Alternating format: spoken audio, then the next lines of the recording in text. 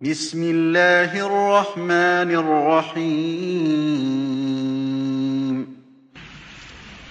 ولولا اور کیوں نہ از جب سمعتموہ سنا تھا تم نے اسے قل تم کہا تم نے ماں نہیں یقون ہے لنا ہمارے لیے، ان کہ نہ ہم کلام کریں بحاظا ساتھ اس بات کے سبحان کا پاک ہے تو۔ ہاضا یہ ہے، بہتان بہتان، عظیم، بہت بڑا۔ ولولا اس سمے تم کل تم اور کیوں نہیں جب سنا تھا تم نے اس کو، تو کہا تم نے، ما یقون لنا، نہیں ہے جائز ہمارے لیے ان تکلم بحاظا کہ ہم یہ بات بھی کریں۔ ہمیں تو یہ بات منہ سے نکالنا بھی زیب نہیں دیتا۔ ایسی باتیں صاحب ایمان لوگوں کی زبان پر ہوں تو یہ ان کی شان کے بھی خلاف ہے کہ کسی پر کوئی جھوٹی بات کہی جا رہی ہو اور انسان اس کو بغیر سوچے سمجھے لے لے اور پھر آگے پھیلانے لگے سبحان کا پاک ہے تو۔ ہادا بہتان عظیم۔ یہ تو بہت بڑا بہتان ہے۔ اب آپ دیکھیے کہ دوسری دفعہ تردید آ رہی ہے کہ تمہیں اس موقع پر خاموشی اختیار نہیں کرنی چاہیے تھی۔ بلکہ کیا کہنا چاہیے تھا کہ نبی صلی اللہ علیہ وسلم کے گھرانے کے بارے میں، آپ کی زوجہ محترمہ کے بارے میں اس قسم کی بات کرنا، آگے پہنچانا یا ڈسکس کرنا، یہ تو ہمیں زیب ہی نہیں دیتا۔ ہماری تو شان ہی کے خلاف ہے، کیونکہ ہر انسان کس سے پہچانا جاتا ہے؟ اپنی گفتگو سے۔ ہر شخص کے پسندیدہ جو ٹاپکس ہوتے ہیں، ہر شخص کیا گفتگو کرتا ہے؟ وہی جو اس کے پسندیدہ یا دلچسپ موضوعات ہوتے ہیں۔ اور ہر شخص کے جو انٹرسٹ ہیں وہ مختلف ہوتے ہیں۔ آگے بھی آپ دیکھیں گے کہ الخبیسات للخبیسین والخبیسون للخبیسات کہ خبیس باتیں خبیس لوگوں کو یہ اچھی لگتی ہیں انہیں کو زیب دیتی ہیں۔ جیسے پیچھے ہم نے پڑھا کہ ازانی لائن کے ہو اللہ زانیتن اور مشرقہ تو انسان جیسا خود ہوتا ہے، ویسی ہی باتیں بھی کرتا ہے۔ آپ نے دیکھا ہوگا کہ جو لوگ ان پڑھ ہوتے ہیں نہ سمجھ ہوتے ہیں، ان کی گفتگو بھی ویسی ہوتی ہے۔ جو اللہ سے ڈرنے والے ہوتے ہیں، ان کی گفتگو فرق ہوتی ہے۔ جو نڈر ہوتے ہیں، جن کے اندر کوئی تقوی نہیں ہوتا، ان کی گفتگو اور طرح کی ہوتی ہے۔ تو ہر شخص جیسا اندر سے ہوتا ہے، ویسا ہی وہ باہر سے اپنی باتوں اور اپنے کلام میں ہوتا ہے۔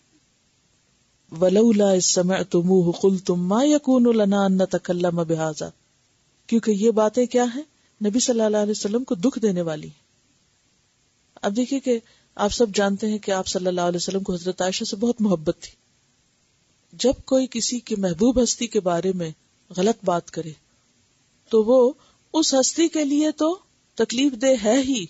اس کے پیاروں کے لیے بھی بہت تکلیف دہ ہو جاتا ہے۔ تو یہ دراصل حضرت عائشہ ہی کو تکلیف دینا نہ تھا، بلکہ اللہ کے رسول صلی اللہ علیہ وسلم کو بھی دکھ دینا تھا۔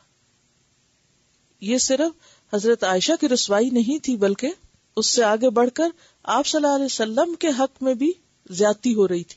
اور نہ صرف یہ کہ آپ کے، بلکہ بات اللہ تعالی تک جاتی ہے کہ اللہ تعالیٰ نے ایسے نبی کو چنا اور ان کے لیے ایسی بیوی چنی۔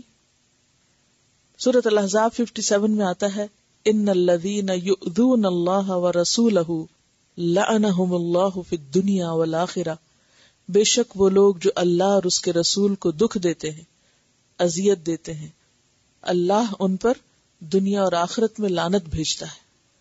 ایسے لوگ اللہ کی رحمت سے محروم ہو جاتے ہیں۔ ولولا، یہ دیکھیے کہ یہ لو لا کا انداز کیا ہے؟ ڈانٹ کا، دھمکی کا۔ کیوں نہیں ایسے ہوا؟ آپ دیکھیے کہ جب بچہ کو غلطی کرتا ہے تو آپ اس سے کیسے پیش آتے ہیں؟ کیوں نہیں کیا یہ؟ تمہیں کیوں نہ خیال آیا؟ تم نے کیوں نہ سوچا؟ تو کیوں نہ کیا تم نے یہ؟ ولو لا اس سمے تم کل تم کیوں نہ تم نے کہا جبکہ تم نے سنا تھا اس کو؟ کس کو؟ اف کو۔ ما یقون لنا ان تکلم بحاظا نہیں جائز ہمارے لیے کہ ہم ایسی باتیں کریں۔ اس سے کیا پتہ چلتا ہے؟ اس سے کیا بات سمجھ میں آتی ہے کہ ہمارے لیے جائز نہیں کہ ہم ایسی باتیں کریں؟ کیوں؟ کیوں نہیں جائز؟ یعنی یہ مومن کی شان کے بھی خلاف ہے۔ یعنی کسی کے ایمان اور شان اور وقار اور مربت کے بھی خلاف ہے کہ وہ اپنی مجلسوں میں تیسرے شخص کو بیٹھ کے ڈسکس کرے اور وہ بھی اس قسم کی باتوں میں۔ کیونکہ کسی بھی شخص کی گفتگو کس بات کا آئینہ ہوتی ہے؟ اس کی شخصیت، اس کے اندر کا، کہ وہ کیا چیز ہے؟ وہ اندر سے کیا ہے؟ ہاں؟ تو ہمیں تو یہ زیب ہی نہیں دیتا۔ اہل ایمان کو تو یہ بات سجتی ہی نہیں۔ یہ بات تمہارے اوپر، جیسے کسی کو آپ سمجھاتے تو آپ کہتے کہ تمہیں تو زیب ہی نہیں دیتا کہ تم یہ کام کرو۔ تم کس کی بیٹی ہو؟ تم کس کی بہو ہو؟ تم کون ہو؟ تم نے یہ کیسے کر لیا؟ تم تو اہل ایمان ہو، تم تو پوری دنیا کی ہدایت کے کام پر فائز کیے گئے ہو۔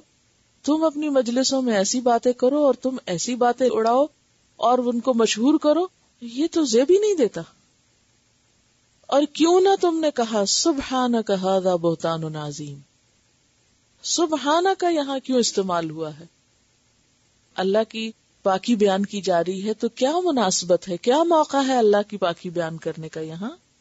ہوں یعنی یہاں اللہ تعالی کا ذکر کیوں آ گیا اور اللہ کی تسبیح کیوں بیان کی گئی؟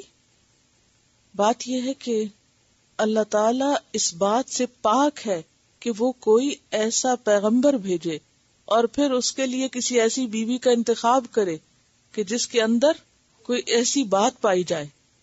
کیونکہ حضرت عائشہ رضی اللہ تعالی عنہ کا انتخاب آپ صلی اللہ علیہ وسلم کی زوجہ بننے کے لیے دراصل اللہ ہی کی طرف سے تھا۔ تو سبحانہ کا یعنی اللہ پاک ہے اس بات سے، اللہ کی تسبیح ہے، ممکن ہی نہیں کہ اللہ تعالیٰ اپنے نبی کے لیے ایسی بیوی کا انتخاب کرے۔ ہاضا بہتان عظیم، یہ ہے بہتان بہت بڑا، یہ نہیں ہو سکتا۔